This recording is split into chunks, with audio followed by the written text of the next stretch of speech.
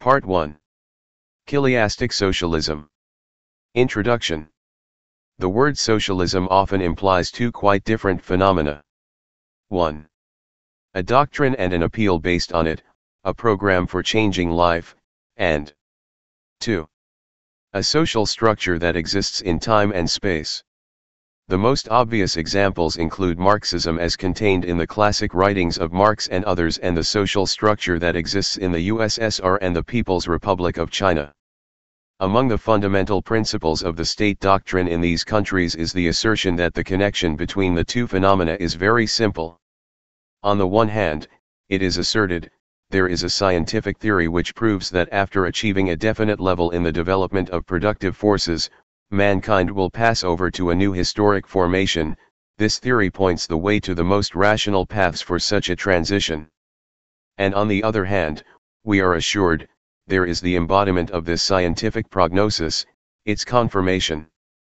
As an example of quite a different point of view we cite H.G. Wells, who visited Russia in 1920 and, though infected by the worship of socialism, fashionable then as now, nevertheless almost instinctively refused to accept Marxism, in this sense reflecting the antipathy toward all scholastic theories typical of an Englishman.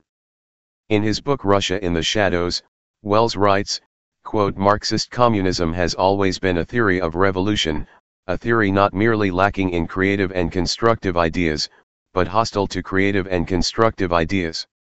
End quote.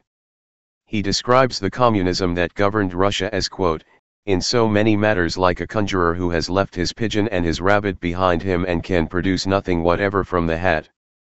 End quote. From this point of view, Marxism does not set itself any goal other than that of preparing for the seizure of power. The state system established as a result is therefore defined and shaped by the necessity of holding power. Since these tasks are entirely different, the official theory and the actual implementation have nothing in common it would be incautious to take either of these assertions on faith. On the contrary, it would be desirable, first, to study both socialisms independently, without any a priori hypotheses, and only then attempt to come to conclusions about the connections that exist between them. We shall begin with socialism understood as a doctrine, as an appeal. All such doctrines, and as we shall see, there were many of them, have a common core they are based on the complete rejection of the existing social structure. They call for its destruction and paint a picture of a more just and happy society in which the solution to all the fundamental problems of the times would be found. Furthermore, they propose concrete ways of achieving this goal. In religious literature such a system of views is referred to as belief in the thousand-year kingdom of God on earth Chiliasm. Borrowing this terminology, we shall designate the socialist doctrines of this type as chiliastic socialism. In order to give some sense of the scale of this phenomenon and of the place it occupies in the history of mankind, we shall examine two doctrines that fit the category of chiliastic socialism, as they are described by their contemporaries. In doing so, we shall attempt to extract a picture of the future society envisaged, leaving to one side for the moment the motivation as well as the concrete means recommended for achieving the ideal. The first example takes us to Athens in 392 BC during the great urban Dionysia, when Aristophanes presented his comedy Ecclesiazusae or the Congress Women. Here he depicts a teaching fashionable in the Athens of the time. The plot is as follows, the women of the city, wearing beards and dressed in men's clothing, come to the assembly and by a majority vote pass a resolution transferring all power in the state to women.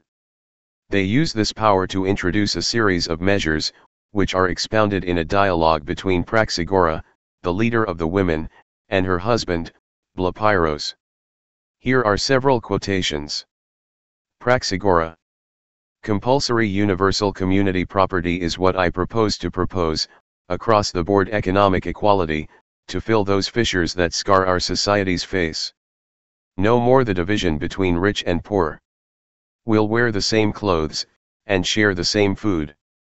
My initial move will be to communalize land and money and all other property, personal and real. Blepyros. But take the landless man who's invisibly wealthy, because he hides his silver and gold in his pockets. What about him? Praxagora. He'll deposit it all in the fund. I'll knock out walls and remodel the city into one big happy household, where all can come and go as they choose. I'm pooling the women, creating a public hoard for the use of every man who wishes to take them to bed and make babies. Blepyros. A system like this requires a pretty wise father to know his own children. Praxagora. But why does he need to? Age is the new criterion, children will henceforth trace their descent from all men who might have begot them. Blepyros. Who's going to work the land and produce the food? Praxagora. The slaves. This leaves you just one civic function, when the shades of night draw on, slip sleekly down to dinner. The state's not going to stint. Its hand is full and open, its heart is large, it'll stuff its menfolk free of charge, then issue them torches when dinner's done and send them out to hunt for fun.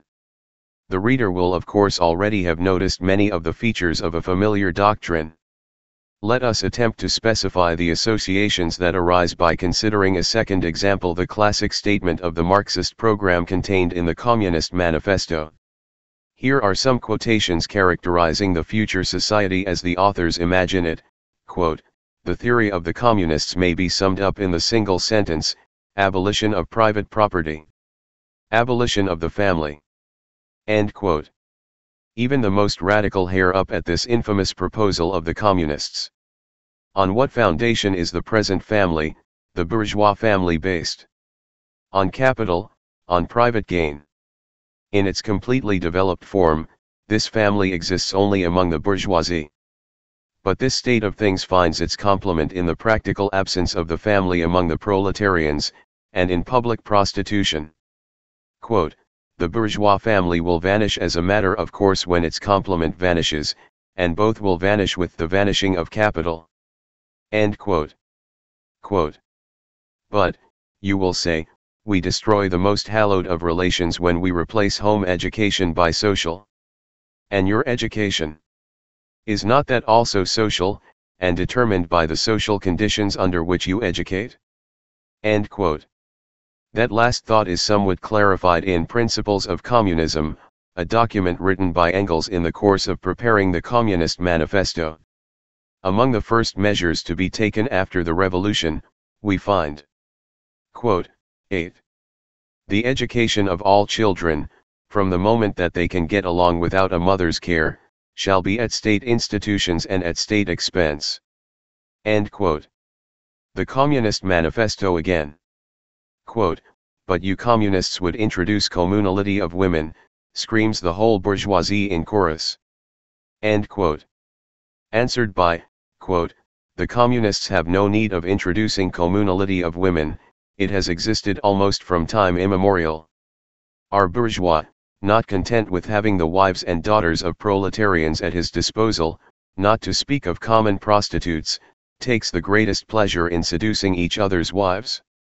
Bourgeois marriage is in reality a system of wives in common and thus, at the worst, what the communists might possibly be reproached with is that they desire to introduce, in the place of a hypocritically concealed, and openly legalized communality of women. End quote. In the Communist Manifesto there is no reference to the other material aspects of life. In Principles of Communism we find. Quote, 9. The building of large palaces in the national estates as common dwellings for the communes, whose citizens will be busy in industry, agriculture, these structures will combine the merits of urban and rural life and avoid their defects. End quote. We see concealed in Marx's Hegelian phraseology and Aristophanes' buffoonery almost the same program. 1. Abolition of private property. 2. Abolition of the family i.e., communality of wives and disruption of the bonds between parents and children. 3. Purely material prosperity. It would even be possible to say that both programs coincide perfectly, were it not for one place in the Ecclesiazusae. In answer to Blepyros's question as to who will do the plowing, Praxagora replies, slaves.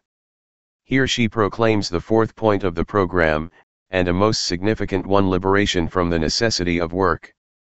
Interestingly enough, on this point Herbert Marcuse, the best known of the neo-Marxists and one of the leaders of the New Left in the USA, differs from Marx.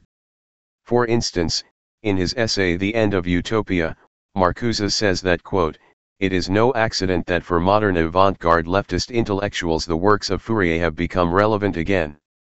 Fourier did not flinch where Marx was insufficiently bold. He spoke of a society where work would become play. And elsewhere in the same essay, quote, new technical potentialities lead to oppression unless there develops a vital need for the abolition of alienating work. Supplementing the program of the Communist Manifesto in this fashion, we obtain a description of the ideal which fully coincides with what had been the object of Aristophanes' derision on the stage of the Athenian theatre in 392 BC we are confronted by a set of ideas with certain strikingly durable features which have remained almost unchanged from antiquity to our day. The term chiliastic socialism will be applied to such ideas. Below, we shall attempt to outline this concept more precisely, to point out the main stages of its historical development and to take note of the broader ideological framework within which the doctrines of chiliastic socialism came into being.